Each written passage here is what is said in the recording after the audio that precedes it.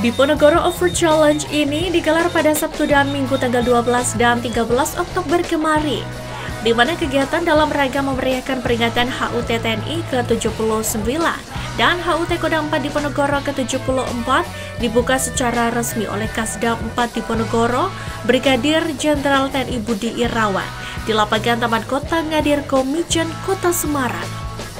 Peserta yang berjumlah 337 unit off-roader dilepas dengan pengibaran bendera start dan para peserta langsung menuju ke lokasi tantangan di hutan jati Ngadirgo, Kedung Pani Mija.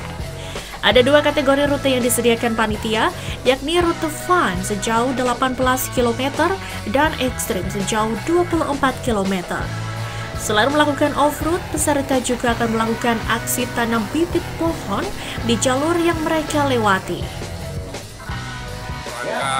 kelanjutan dari hari ulang tahun TNI yang ke-79 dan juga hari ulang tahun Koda 4 yang ke-74 sehingga di hari ulang tahun ini uh, eh, TNI bisa berbagi dengan masyarakat.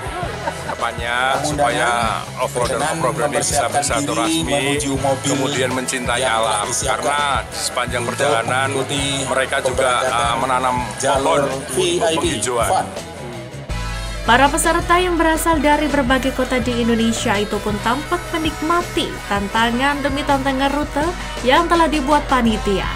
Selain menggelar off-road challenge, turut digelar pula penanaman bibit pohon di taman kota dan bazar murah untuk warga sekitar Ngadirgo. Tutu Carita melaporkan.